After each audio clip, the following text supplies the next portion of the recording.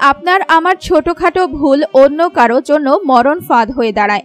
বনাঞ্চলে খেলতে গিয়ে রাস্তার পাশের মাটি কেটে নেওয়ার পর গর্তে জমে থাকা পানিতে ডুবে তিন শিশু মারা গেছে।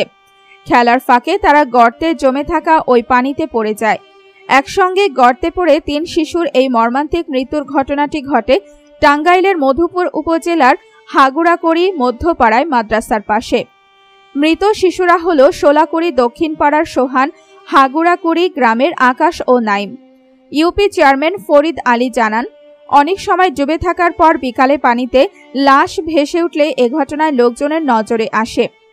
এই এলাকার মাছ ধরতে যাওয়া অপর এক কিশোরীর সঙ্গে ছিল তারা। সেখানে গিয়ে ওই তিন শিশু খেলছিল। তারা ওই গর্তের পানিতে পড়ে কখন ডুবে যায় তা কিশোরী বা কেউ বুঝতে পারেনি। তাদের সন্ধান না পেয়ে খোঁজাখুঁজির এক পর্যায়ে ওই পানিতে একে একে শিশু তিনটার লাশ ভেসে ওঠে। মুহূর্তে পুরো গ্রাম জুড়ে নেমে যায় শোকের ছায়া। এ যেন মহামারী বয়ে গেল। মধুপুর থানার ভারপ্রাপ্ত কর্মকর্তা মাজহারুল আমিন ঘটনার সত্যতা নিশ্চিত করেছেন। দর্শক, এই তিন শিশুর মৃত্যুকে ভাগ্যের লিখন নাকি গর্ত করে রাখা এই মানুষজনের তৈরি করা মরণ ফাঁদ?